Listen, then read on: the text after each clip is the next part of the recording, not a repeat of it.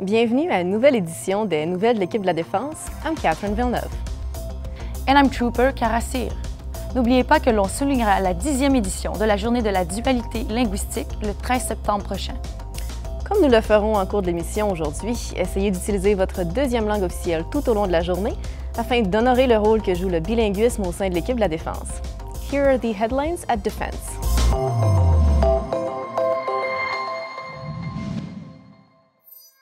L'exercice Arrowhead Shield a pris fin le mois dernier au camp Grayling au Michigan.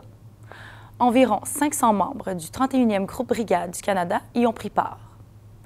L'exercice reproduit des opérations défensives dans des environnements conventionnels et urbains, de même que des entraînements pour les soldats en matière de préparation et de participation à diverses situations de combat.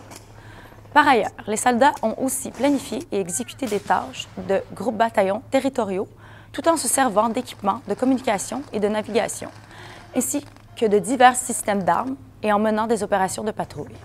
Le gouvernement du Canada s'engage à veiller à ce que la force de réserve des Forces armées canadiennes satisfasse aux diverses exigences relatives aux forces militaires modernes, et ce, en misant sur l'instruction et la certification, comme l'énonce la politique de défense du Canada, protection, sécurité, engagement.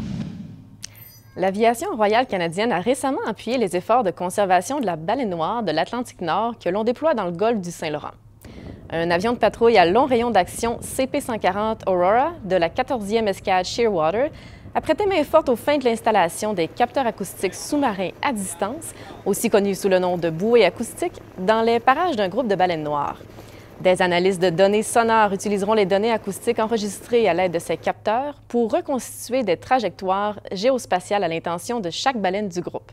L'essai mené de concert avec Recherche et Développement pour la Défense Canada et divers autres partenaires avait pour objet d'améliorer la capacité de détecter, de classer et de suivre cette espèce et son comportement.